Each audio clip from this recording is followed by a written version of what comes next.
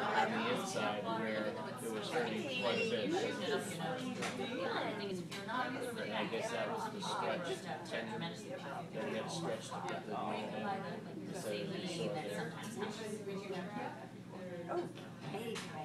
Or your mother can pin you down and use that sucker, and suck the bones out, as she did when she was you were young.